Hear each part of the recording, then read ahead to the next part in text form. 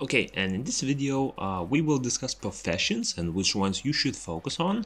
First of all, before choosing which professions to do, we have to establish the most important items you can craft. Luckily, all of the important items are in only two professions, so it will save you quite a bit of time compared to leveling them all equally.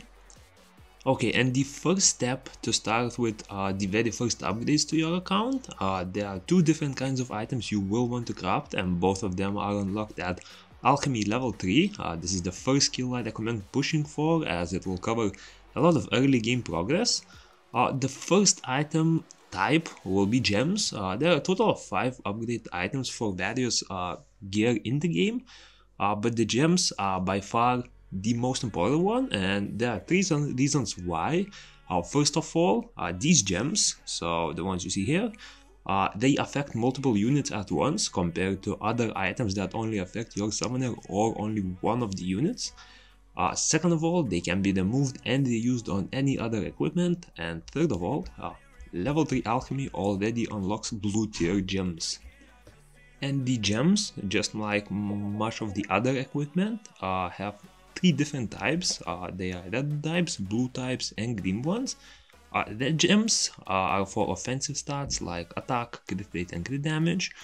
Uh, blue ones are for defensive stats like HP and defense, and the green ones are for utility stats, uh, stuff like attack speed, accuracy, resistance, precision, and evasion. With the blue tier gems unlocked, uh, you can start crafting the required gems and getting the values that you need. Uh, for stats like uh, gems, you should have attack percent or crit damage percent. For blue ones, uh, I recommend focusing on HP percent or defense percent, and for green ones, uh, those honestly depend on the stats you are missing the most. I personally prefer attack speed on mine, uh, as it directly sort of increases damage by a lot. Uh, and you will need a total of 6 gems for each color, so one of each color piece for each piece of equipment. Uh, you can equip these gems on all 5 weapons, as well as your summoner weapon, which you can see right here so yeah five weapons and the summoner uh, sub weapon and another great thing about gems is their effects work even if the weapon is not currently equipped.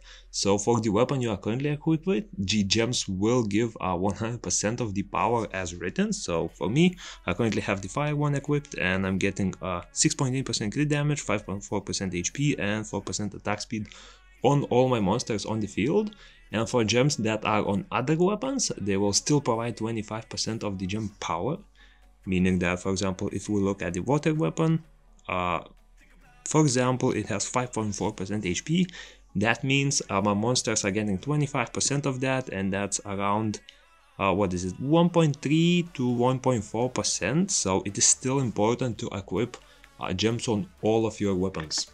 And yes, uh, alchemy is pretty hard to unlock, however, trust me, it's definitely worth it and the stat boost you get from these gems is very important. And now, uh, the great thing about Alchemy level 3 is that the second item you will really want uh, is also unlocked at that level.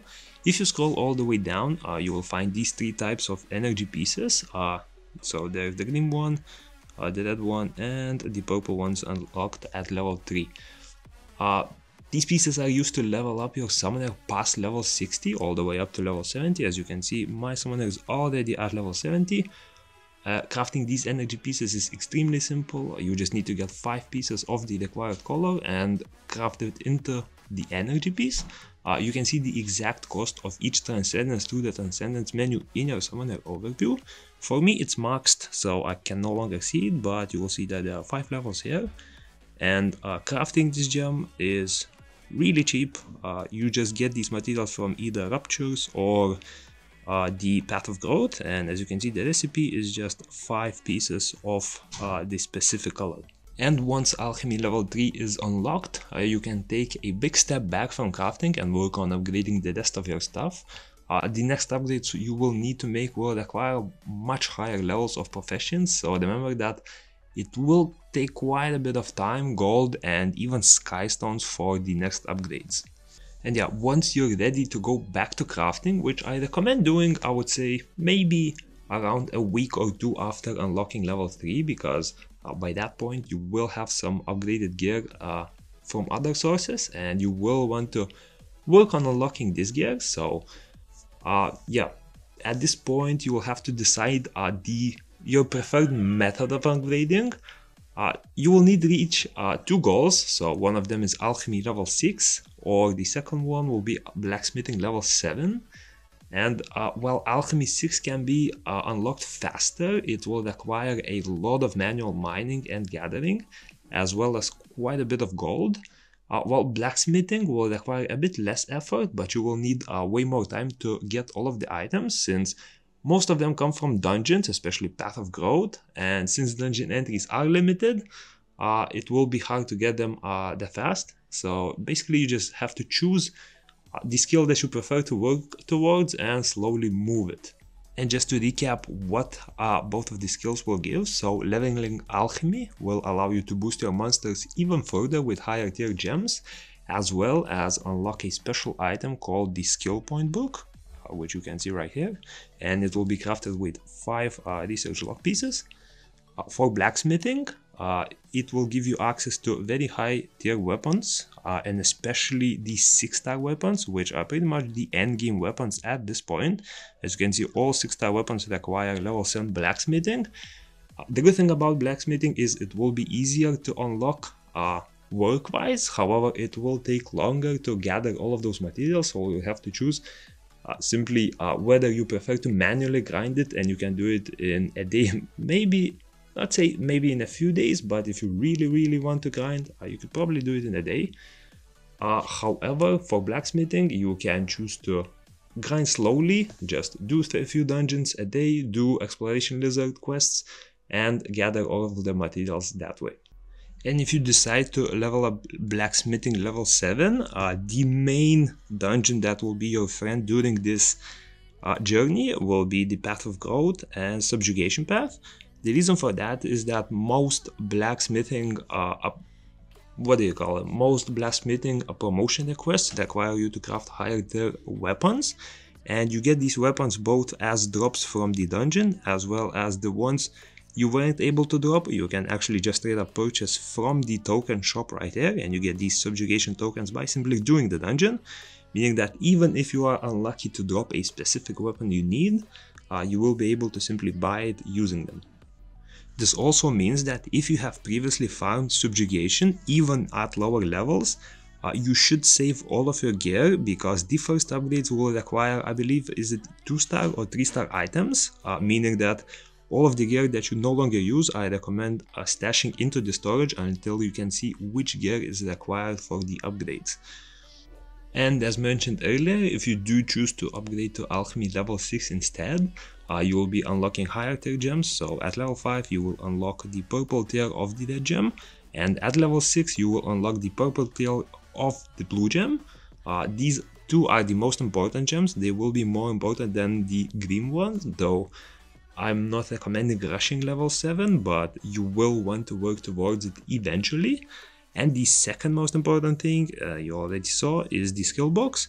These skill books allow you to level up the skills of your summoner, meaning that once you craft these books, uh, you can go into your inventory, use those books. As you can see, I have four right now. I just acquired four skill points, and these skill points can be spent on the skill tree.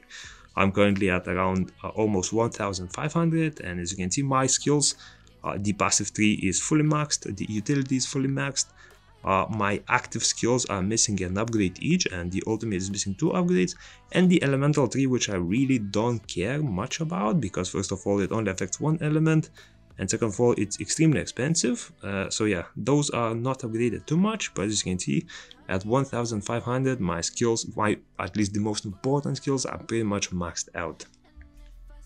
And well, yes, uh, you may be wondering uh, why wouldn't I just unlock the skill books through the cooking part of the recipe, uh, as it's clearly a bit cheaper at level 4.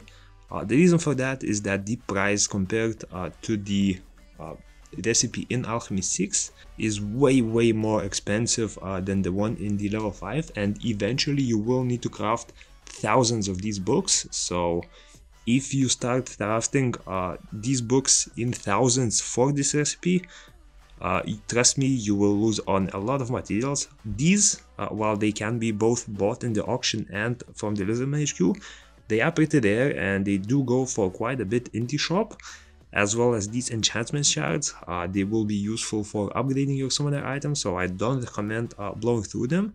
Their price is also super high uh, due to the announced upgrades. They were sitting at like 500 now they're close to 5000 so yeah definitely don't waste uh, your materials on this book i'm not even mentioning the fact that it also requires one additional log piece to craft the book so yeah it's definitely not worth it and it's better to just stock up and wait even if you have thousands of those skill pieces because as soon as you unlock uh, the recipe in alchemy level 6 you will be able to craft a bunch of them way cheaper and uh, the skill points you upgrade then will put way way more use for you.